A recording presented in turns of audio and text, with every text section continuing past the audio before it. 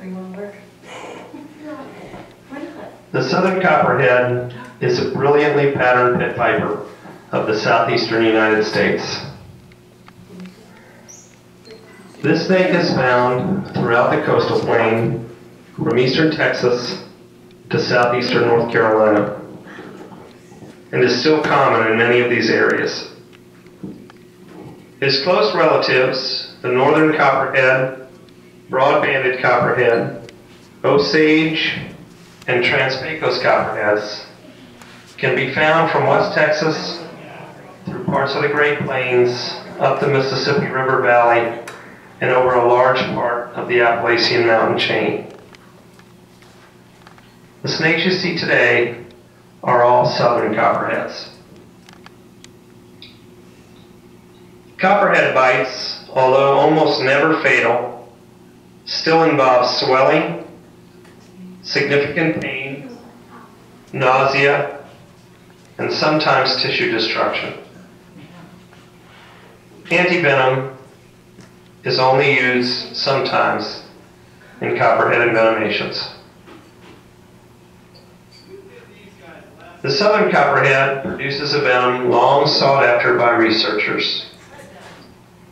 This venom contains an important protein called contortristatin.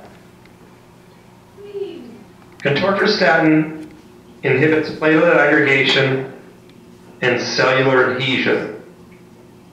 These properties have taken this protein into a variety of cancer research.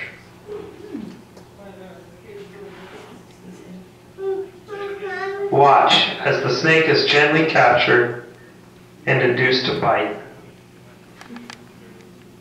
You will see a small amount of venom fall along the interior of the glass. It takes literally thousands of venom extractions to produce appreciable amounts of venom.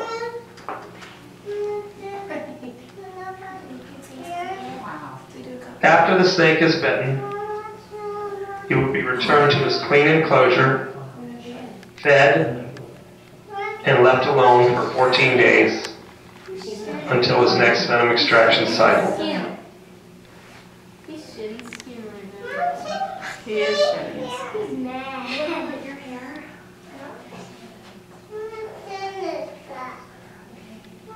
He pins his uh-huh. head.